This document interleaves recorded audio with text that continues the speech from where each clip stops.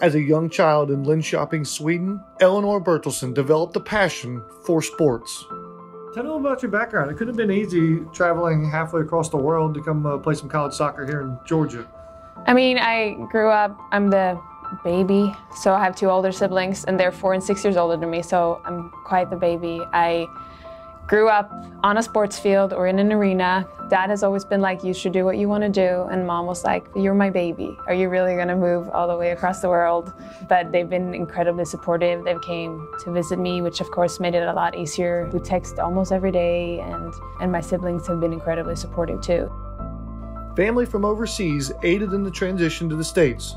Having Swedish teammate Stina Anderson by her side was an added support system. But all in all, Bertilsson knew her priorities were in order. I think a big thing for me was the ability to combine playing sports at such a high level while getting a quality education because as it works in Sweden it's like you almost have to choose. Either you play on a high level or you get an education which wasn't something that I was willing to do at that point in my life. So I think obviously the education matters um, as much because for me it's my future. Playing soccer and furthering her education, the two most important responsibilities for Bertilsson, not to mention doing each at a very high level. The spring, my sophomore year, I actually took 19 credit hours. So I had seven classes. The problem wasn't going to class, it was problem was finding time to do all the studying. People were like, hey, you want to come out for dinner? Or hey, you want to watch a movie? You want to go to the movies? And I'm like, I'm sorry. I think one thing for me is that I've always thought school was fun. Like since I was little and I still really enjoy going to school. So obviously it's easier to do something that you think is fun. This is gonna sound a little bit silly, but I, I honestly think there's really no secret. You gotta do the work.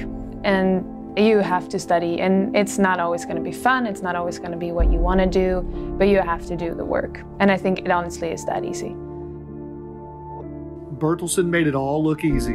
On the pitch, she helped lead the program to their first national tournament victory, reaching the round of 16. Where does that reward come from you? Is it hoisting a trophy in the air or hugging someone like Stina after winning the opening round for the first time? I don't know. Oh, told you I was going to get emotional.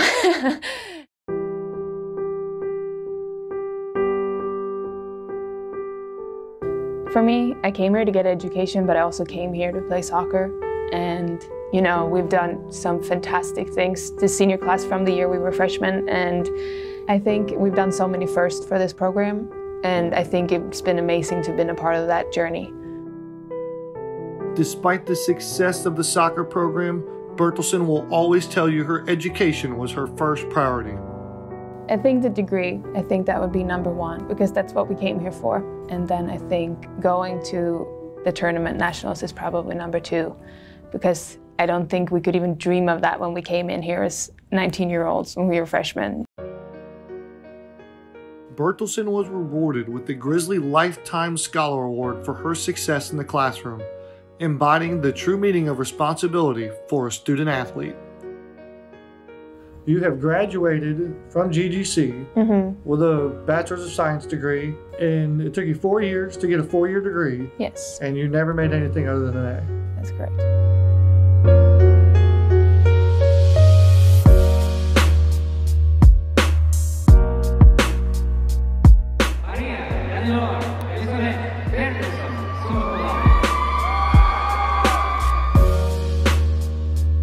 I think responsibility is doing the right thing even when it's not the easy thing. And I think you often stand at a choice where you can you can choose to do the easy thing, but doing the right thing even if it's the hard thing, I think is a big thing.